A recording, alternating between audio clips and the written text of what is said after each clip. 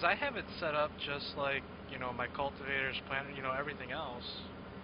hmm It just doesn't work with the overloader script, so I'm wondering if he has his pipe unfold with like the maybe like the pipe function. I don't know. Because like Did he? the cylinders don't recognize when you press X. You know, it doesn't recognize the overloading unfold. Oh yeah. So I'm assuming I have to go back and look at. it. I'm assuming he's using like the in-game P like pipe to like open up your pipe or something. Maybe. I don't know.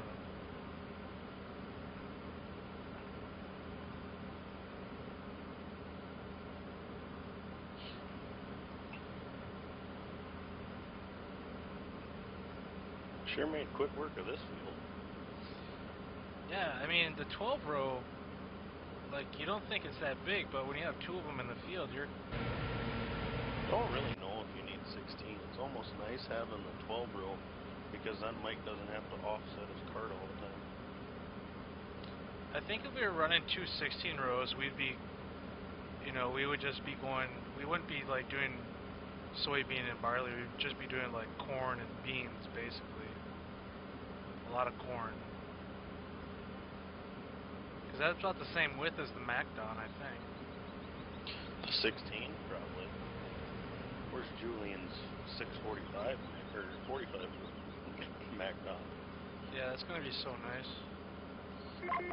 I found out if you're going to use a 45 foot head, you're going to have to go in and uh, lengthen the auger on the Lexion, by the way.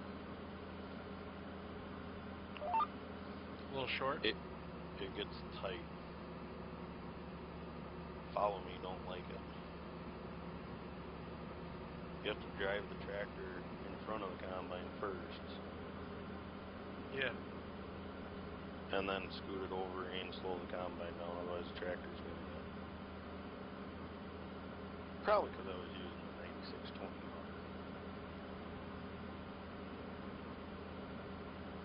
Where's that 9RX one? Those, uh, those 9R cabins need some work. I noticed on your RX that the cylinders on the side of the tractor don't move with it when it turns.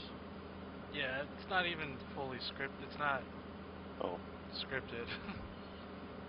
that's the why. I- 9Rs are pretty nice. That's why I never use it. I mean, all that's it's just a new body and tracks. I mean, it doesn't have any like cylinders or IC or anything like that. You still got Ago's uh, good 8, 8R?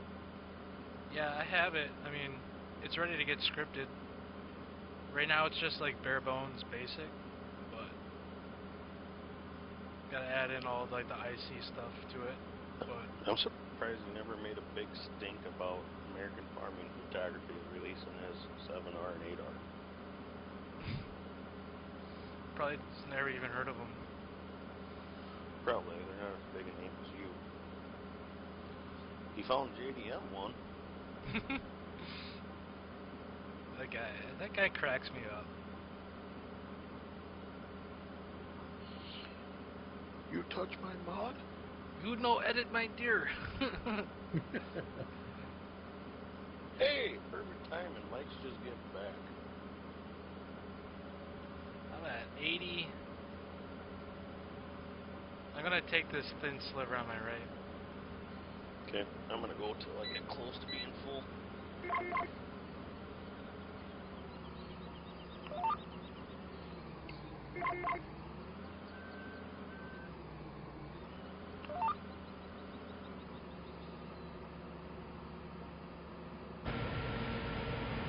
Am I gonna have to stop? Or, oh, Joe's bump full too. I'll just stop.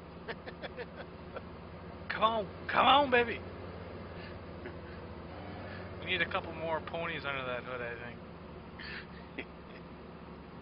yeah, need a T97, real true camo.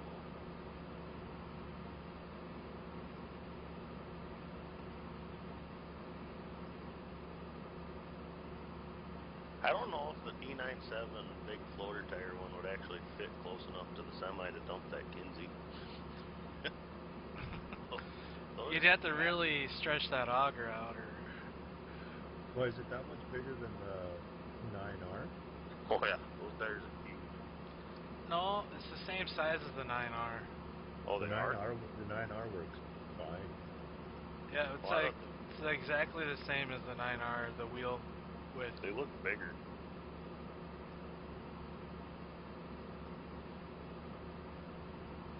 Man, we're just heaping this cart.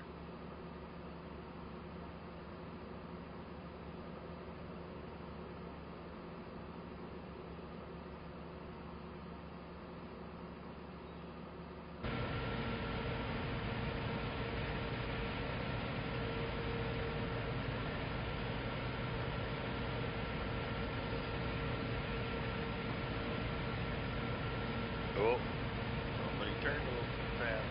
Uh, I was, I'm right now, and I was trying to slow down and turn. And... Shut up, Jake. Oh, Come on, get up there. you ain't gonna be able to take very much. No.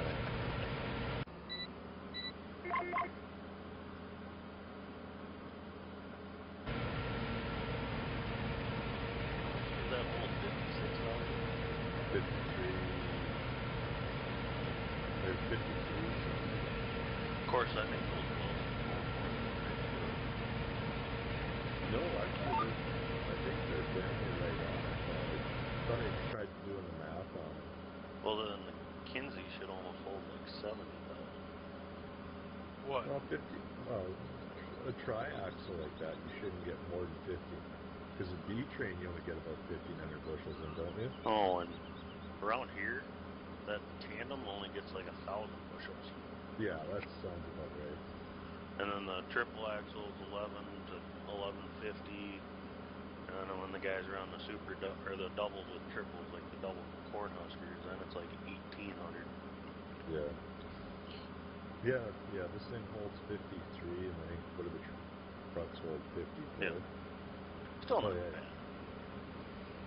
I expect the Wilson trailers to have the heaped capacity. Because the Wilson trailer said that thing can hold 1600 bushel heaped. Do not drive down a weight limit road. Yeah, if you go to the water line, it only holds like maybe 1100 bushel. But if you heap it, yeah, Yeah. Yeah, Do not it's- drive down the highway because you will be screwed. that's the only reason why I expect it at 54, because that's what it came out to around like 1600 bushel heaped at 8 inches or something. That makes sense. DOT, never heard of them.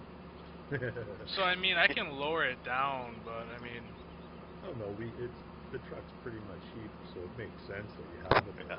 yeah. So I added a, like a uh, on the fill plane like 25 degree heap angle. Okay. So I mean, if you put the tarp on it, it's sticking out over the tarp. But yeah, it's full, definitely heaped. So I think it's pretty accurate, and it's really heavy on that truck too. Yeah. If you load it up to 54. It ain't like that fuck modding one where they can run, what is it, million liters? No. Or oh. it might. Otherwise, otherwise the thousand bushel would be like what, 38, 39,000? Thir- I think 32, whatever Raphael's card, I think it's like 33 or 34. Yeah. So it's quite a bit less if you only put a thousand bushel on. Oh yeah. Talk about a lot of trips. You ain't gonna be able to sell them 1.8 million in three hours. no. But the trucks You- definitely handle it a lot better, you know. Oh yeah.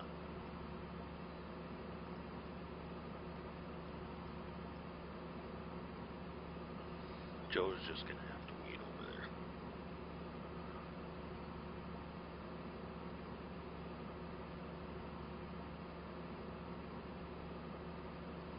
Yeah, it's a little bit big cart for that tractor, but it works.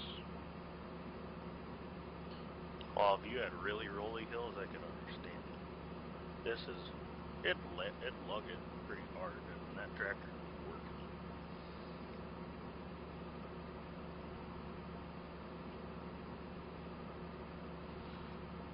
I mean, we're not dealing with that much slope in our fields, at least over here. No.